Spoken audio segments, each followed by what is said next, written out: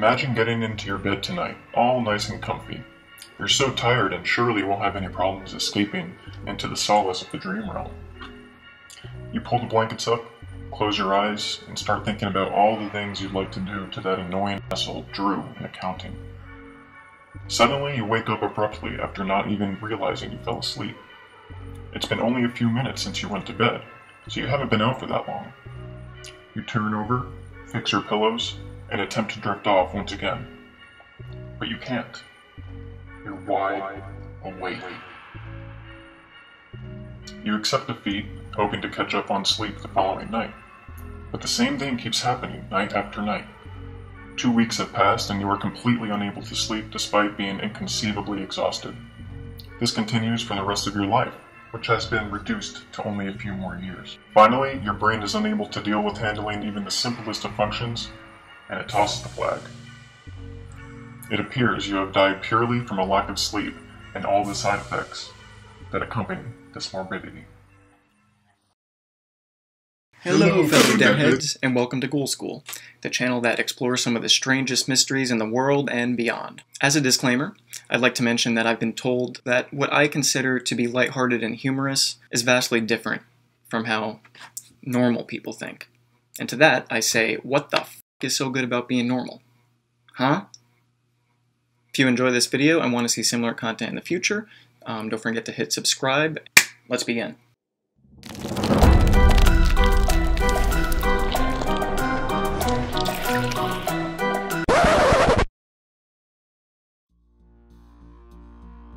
A genetic prion disease is a malady that causes particular genes to mutate rapidly and unnaturally, causing a variety of different physical and or mental issues depending on the group of prions that are malfunctioning. Some diseases in this class literally eats holes in the brain, given the appearance of a porous sponge. All those trypophobics out there, hit me up at the comments. I know exactly what that's like, and I'm not a fan. If you've ever heard of mad cow disease, then you're already familiar with prion diseases.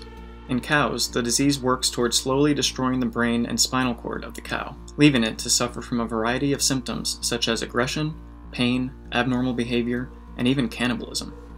Starting to sound familiar? Another well-known prion disease is chronic wasting disease, or CWD, now, as of now, this disease primarily affects deer and causes symptoms similar to mad cow, such as rage and unusual and aggressive behavior. Luckily, as of now, as of October 16th, 2020, humans aren't known to get sick from the disease, but should humans ever become infected, you can expect a scenario similar to the genesis of a zombie apocalypse. Now brings us to fatal insomnia, which is the lovely disease we're going to talk about today. Fatal insomnia or FI, shares many characteristics of other prion diseases. You got your irritability, you got your weight loss, you got your incoordination, and you got your personality changes. And these were all common accompanying symptoms of fatal insomnia. While disease progression can take several months or even years, it is always fatal, and patients typically can expect a 12 to 18 month lifespan after receiving a diagnosis. Luckily, children don't typically get sick from this genetic disease as symptoms onset in one's 40s or 50s. Now, a short little disclaimer here. I don't want anybody getting worried that they might have fatal insomnia just because they weren't sleeping well for the past couple nights. Um, according to my research, this was only found in 200 separate families in all of history. Okay, so it's highly, highly, highly unlikely you have fatal insomnia, but still probably be sleeping. Go to bed earlier. In the book, The Family That Couldn't Sleep, author D.T. Max explains that the physiology of the brain of somebody affected by FI resembles that of someone with Alzheimer's in terms of prion and myelin sheath disintegration, with the key difference being sufferers of the former FI are fully aware of their condition, thus some conclude these people suffer even more since they have the anxiety of knowing and being aware of their condition. The book tells of an Italian man named Silvano one day, while dancing with his mother, Silvano noticed that he was sweating profusely for seemingly no reason. After looking in a mirror, he noticed his pupils were the size of a pen dot. Having a relative to have died of fatal insomnia in the past, Silvana knew exactly what was happening to him. Imagine that realization. Like, imagine having a family member that died of that in the past, and I mean, geez, like, every night that I can't sleep, I will be thinking about that. It probably becomes some sort of self fulfilling prophecy for me. That's just the way my amygdala overactive brain works. Let's move on. Rather than just giving up and dying, Silvano wanted to fully understand the disease and at least go down with the fight, so to speak. With the help of Ignazio, a man who married into the family, Silvano went to a neurological institute seeking answers. He wanted to be studied as thoroughly as possible and even offered his brain for science once he passes. Um, so Silvano pretty much knew that he was a goner. He really only wanted to go to the institute to be observed, not so much be treated, because I think he kind of knew that there was nothing they could do for him, unfortunately. And after conducting various tests, it was discovered that Silvano's EEG results revealed his brain waves to be not like anything previously seen in medical literature. The scan did, however, show that he shared many characteristics of animals infected with other prion diseases such as mad cow and CWD. In another case, Harvard law student Sonia Vallabh noticed her mother was falling ill, experiencing a strange and abrupt onset of symptoms such as poor eyesight, spasms, convulsions, and even speaking in tongues. If there is any sort of medical symptom of demonic possession, speaking in tongues, I think, would be the one. That would be the one to get me going. That would be the one to uh, make me think that maybe this isn't even a medical issue. But the most severe symptom, and the one that ultimately led to her demise, was the unrelenting insomnia. Within 10 years, Sonia's mother was on full life support and looked like she spent every waking moment, which was every single moment, since she wasn't sleeping, feeling completely tortured with exhaustion and pain. When her mother eventually passed away at age 52, the doctor informed Sonia that the disease was genetic. Dr. Pietro Cortelli. Pietro Cortelli. Don't be fooled by the red hair. I'm Italian as. Dr. Pietro Cortelli a doctor working on the case of another one of Sonia's family members, described the experience of the disease as exactly what you can feel if you get a sleep attack when you're driving. You know, when you fall asleep very briefly and then you're shot awake just by the momentum of the car or whatever it is, just being aware that you're in a moving vehicle. It was like that for this lady and every other sufferer with the disease. It's like that every moment you try to fall asleep. Some sufferers of the disorder may drift into a semi sleep like state but don't seem to reach beyond REM sleep to stages 3 and 4, which are known to be the most restorative and perhaps the most important stages of sleep.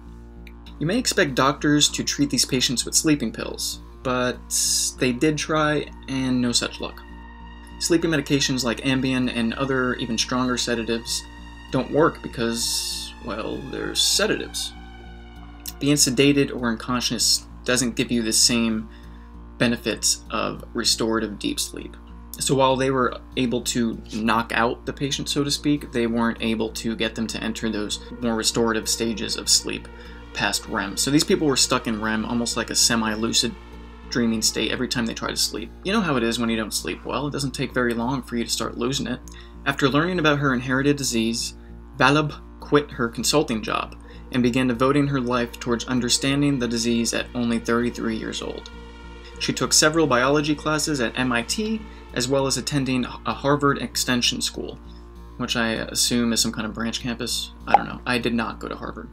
Both her and her husband completely switched career paths and are pursuing their PhDs in biology, so her husband went all in on this too. Shout out to that guy. The Vallabhs, Valabas, Vallabhs eventually founded the Prion Alliance, a nonprofit group operating with the intent to eradicate or at least treat the symptoms of this horrible malady. Unfortunately, as of writing this, again, October 16th, 2020, most sufferers are destined to an early death, with their last years being just about as unpleasant as you can imagine. And though the Prion Alliance was founded uh, years ago, unfortunately, there is still not yet a, a cure for the disease, nor I believe, is there any cure for any sort of prion disease? Because I believe the way these diseases work is they kind of get in there on the DNA and they just kind of do a little of that, you know, and uh, that's not good for your DNA to do that. So, but like I said earlier, thankfully, this only affects 200 families worldwide. At least that's what's recorded.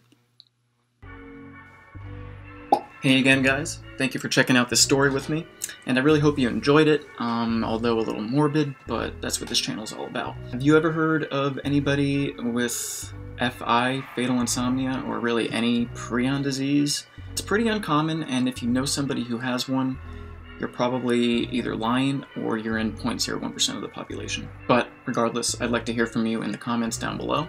I hope to produce more content like this uh, and more frequently looking forward. So if you enjoyed the video, please like it, click the subscribe button, maybe even hit the bell. I know not a lot of people do that. I don't. I never do. So if you don't, it's karma for me. Thanks again for watching, and hopefully you can all get a good night's sleep tonight. But if you don't, you just might have fatal insomnia.